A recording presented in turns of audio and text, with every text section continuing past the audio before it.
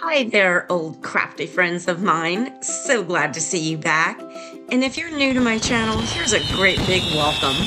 I hope you'll become one of my crafty friends and join me here every week. This is part two of the ballerina canvases. I'll be doing some decoupage, some 3D effects with clay and chipboard, and I'll show you how to make plain old paper flowers look like little works of art. If you saw part one, a lot of the steps will be the same, but stay with me anyway so you can see the finished product. It's going to be as beautiful as the first one. If you're ready, let's make a mess. To begin with, I'm going to give the canvas a coat of gesso, the top and the sides as well. This gives the canvas a nice surface to decoupage on.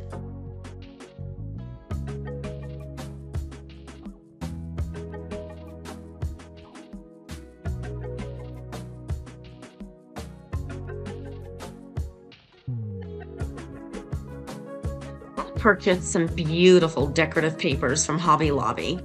You should be able to get them at any craft store. I'm going to rip them into pieces and then glue them on the canvas. I'm spraying the paper with water so that I can tear it easily. This way you don't get a sharp cut edge. It gives you a nice subtle line between your papers.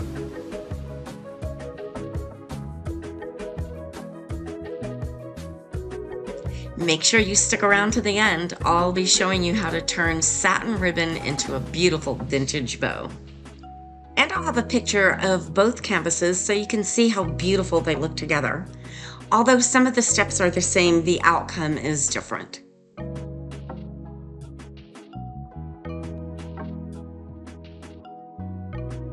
I'm using Mod Podge to glue everything down on my canvas.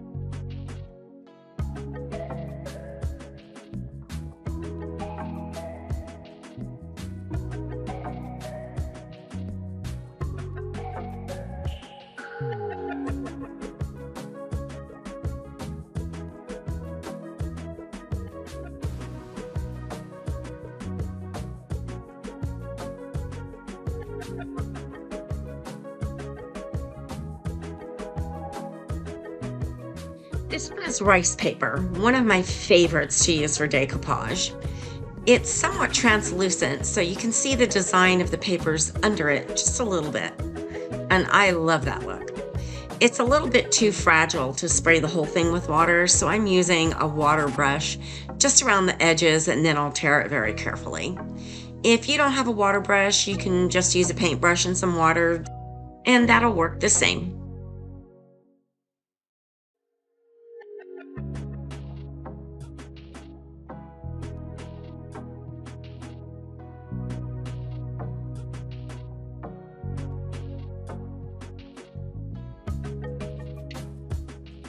After I'm finished gluing down all my paper pieces, I'm going to give the entire surface another coat of Mod Podge and then let it dry.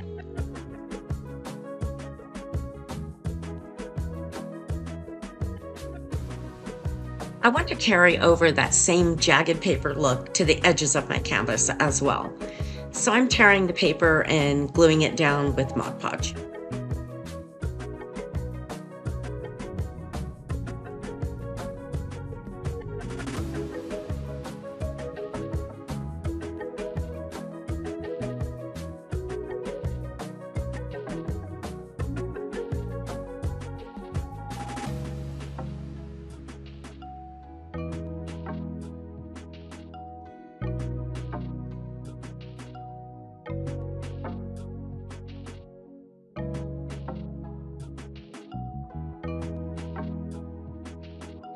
I'm spraying the paper again with some more water because it makes it easier to bend over the edges. And I'm gluing the edges down with some more Mod Podge.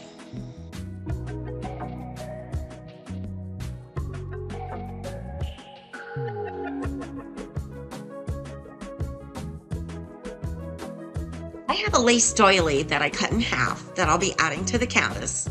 But before I do, I need to get those edges jagged.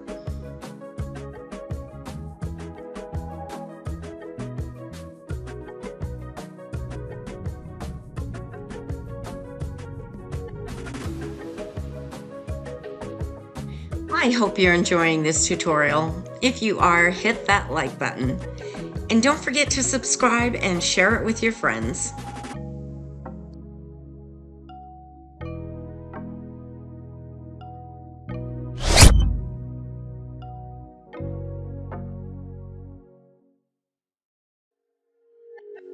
I found this beautiful chipboard flourish at Hobby Lobby and I'm using a sponge to paint it gold.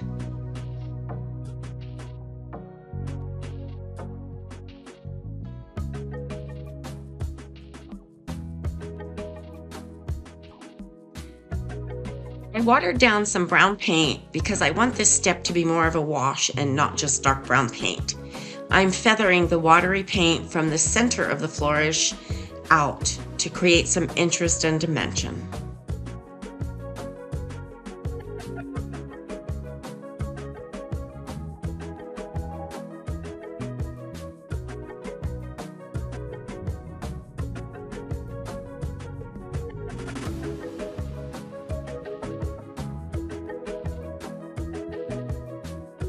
Dark brown paint added lowlights, so now I'll add some highlights by adding some white frost wax rub to the flourish. This white rub is so pretty, it looks frosty.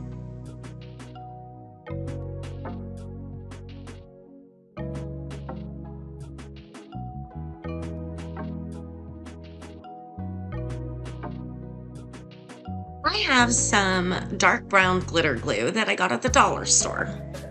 I'm putting the brown glitter glue over where I painted the brown wash and then I'll feather it out just like I did the brown. By the way, have you noticed everything at the dollar store is now $1.25? Did they do that where you live too?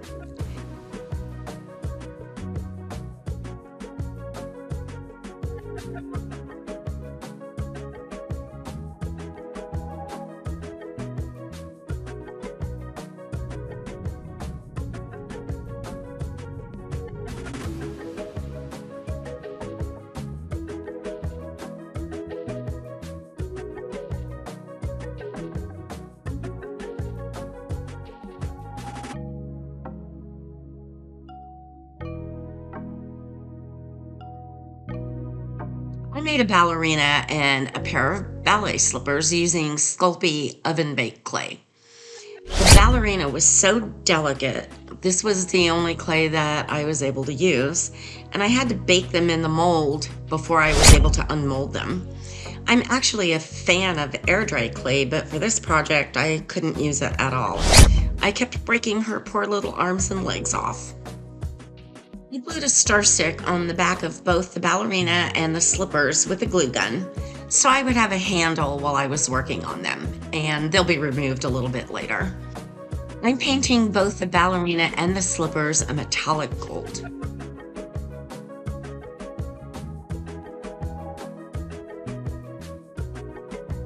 I'm going to make a watery brown wash again like I did for the flourish. I'll paint the ballerina and slippers with the wash and wipe it off. It will stay in all the cracks and crevices to add some depth and dimension.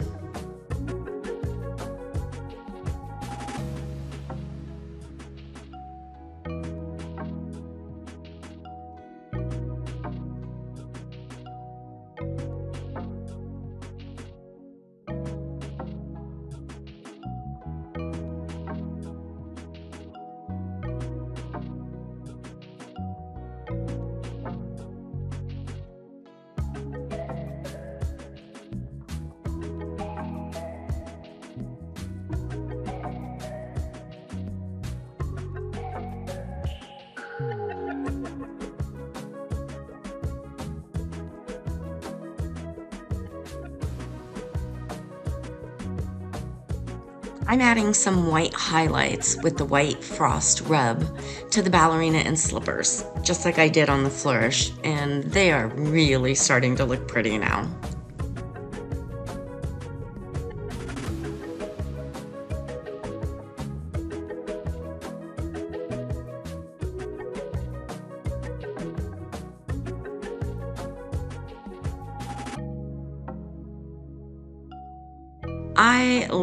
Glitter, so I'm adding some pink glitter glue to the bottom of her tutu. and I decided that wasn't quite enough glitter, so I added some chunky pink glitter to the glue. Show of hands, how many of you are glitter fans? Be honest. I'm all done decorating my ballerina and slippers, so I'm going to add a coat of gloss varnish and let them dry.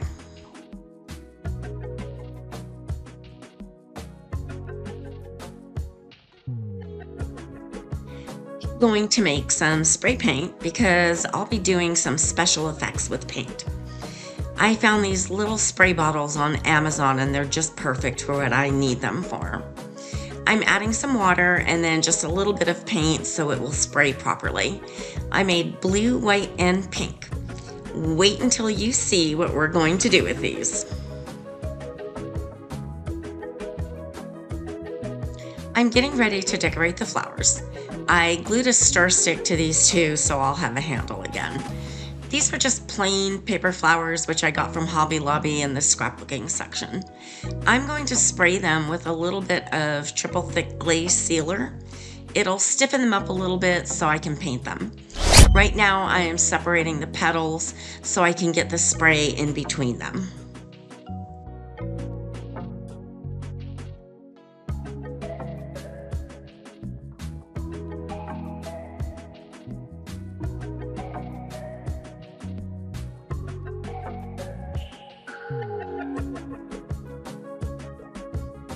On this flower, I'm going to add some gold wax rub to the petals. Then I'll add some white frost rub to the petals as well. After that, I'll give it a spritz with the white spray paint that I made.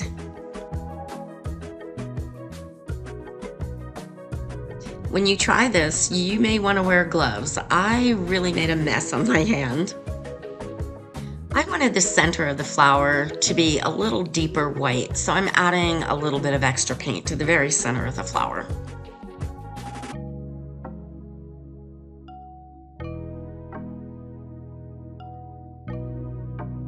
I'm painting the stamens and the center of the flower gold. The white rub is making this rose look like satin.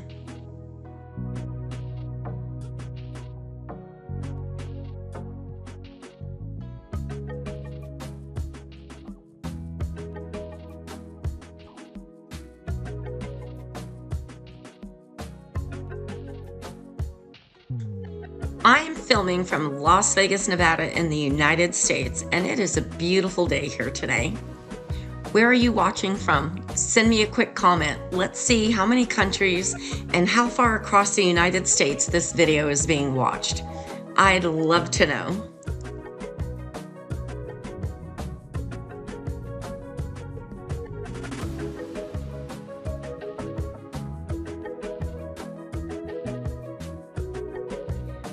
Gold rub just on the very edges of this little rosebud and it looks so pretty.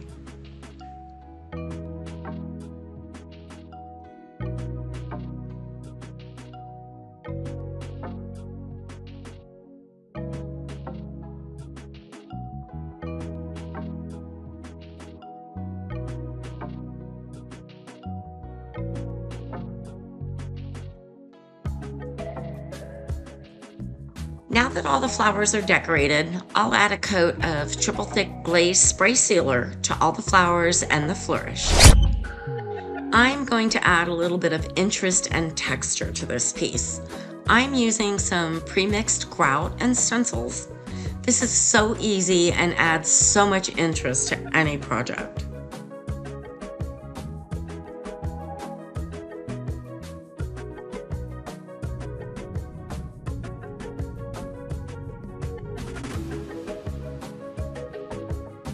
Once the grout dries, I'm going to give this piece a coat of matte spray sealer. I intend to do some paint effects and I don't want the paint to stain the papers.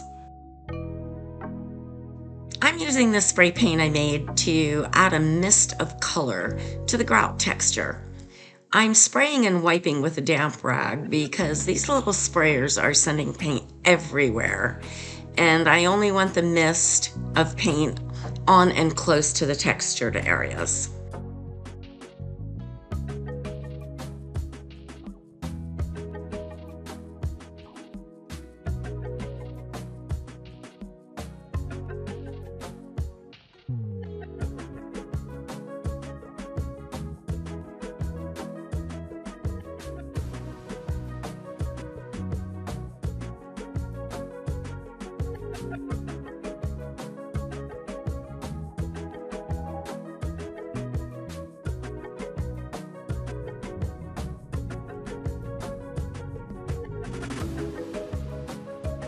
I'm adding a dark edge using iced espresso wax rub.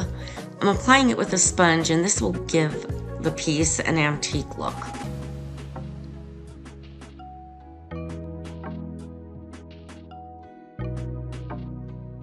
Now we're going to make that pretty little vintage bow I told you about. I cut a length of satin ribbon and I'm brushing it with some pink paint. Then I'll add a little bit of the blue paint here and there. After I paint both sides, I'll scrunch it up in a little ball and wrap it up with some twine. And then I'll leave it overnight to dry.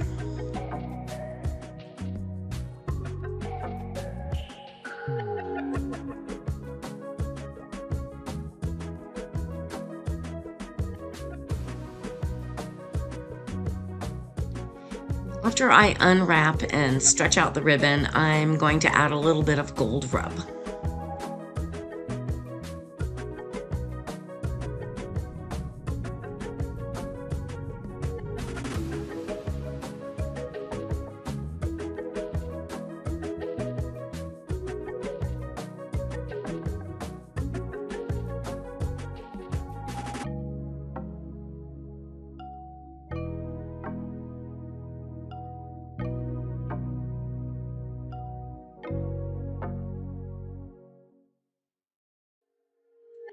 Time to glue all the beautiful embellishments that we made to the canvas.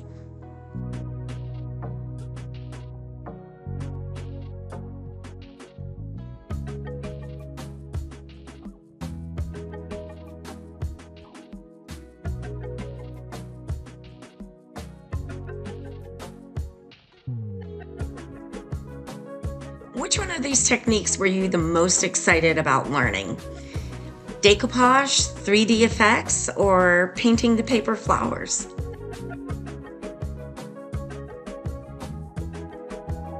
What type of craft tutorials would you like to see next? More decoupage, more 3D effects, or some in-depth painting techniques? Let me know in the comments.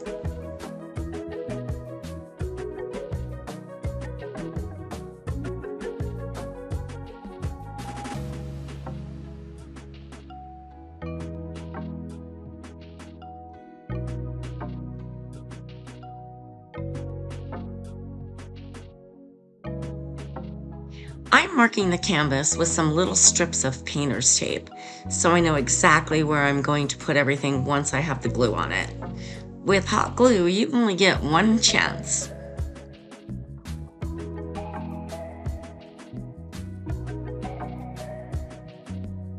Tell me which canvas you liked the best, Ballerina Part 1 or Ballerina Part 2? If you haven't seen the first video, Ballerina Part 1, make sure you go in and watch it so you can vote. I'll make sure at the end of the video there's a link for you to click and go in and watch it.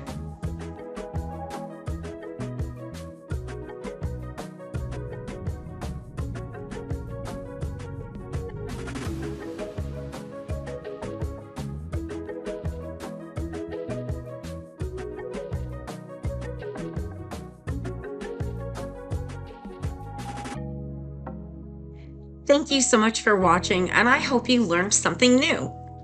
Make sure to like and subscribe so I can bring you more craft videos just like this one in the future. I put together a playlist of other mixed media tutorials that you may enjoy. Click the next picture to be taken directly to that playlist.